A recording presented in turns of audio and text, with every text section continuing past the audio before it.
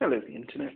Uh, as you can see, this is a uh, bog standard HTC Hero, and uh, my good friends Sam Manchin and David Carrington uh, have asked me how I've managed to get rid of TouchFLO. So just to show you, this is a sort of normalish phone. If I push home, I now get an option saying, do I want to use home or touch flow? So if I go and say TouchFLO, please.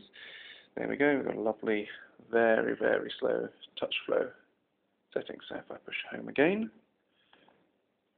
I can just use uh, the normal stuff. And Shazam, we now have a uh, pretty bog standard Android install, which is as fast as anything.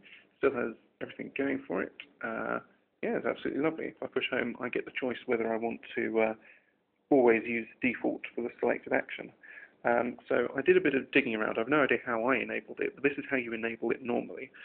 So uh, if we go back home to TouchFLO, uh, you go to Menu, Settings, then Applications, which will be somewhere around here. Applications, there we go. Uh, manage Applications.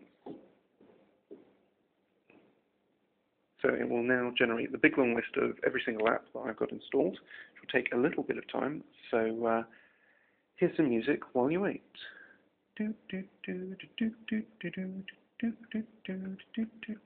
The girl from goes walking. I'm really sorry that I, I can't sing. So what we're going to do, we're going to go into applications. We're going to find the touch flow application and clear the data from it and then stop it. So uh, we have a scroll down here. Now there's loads of things in here. So we just uh, scroll to the bottom till we find touch flow. Shout when you see it. There we go, TouchFLO. Click on that. And we can uh, clear the data. I'm not entirely sure if that's necessary, but most important, you just hit force stop. There we go. TouchFLO has been stopped. So when you go home, it should say can now complete using home. And if you want to go back, so I'll say always use that by default. And uh, we go. On my normal stuff, when I push home, don't get anything uh, particularly coming up. Go back into the browser, still haven't lost any of my settings.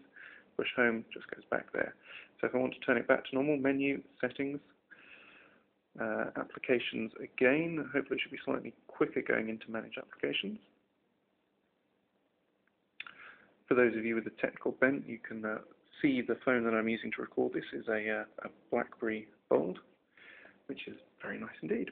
Uh, so let's find home on here. Ooh, FGH, home, fantastic. Click on that. Full stop. it doesn't give you any feedback as to whether it stopped, but I believe it is stopped. So now when I push home, oh, it's thinking about it. Ah, bugger. Well, I'm sure there is a way to uh, to get it working again back to TouchFLO. And when I find out how to do that, I will let you all know. Uh, thank you very much for watching. Bye!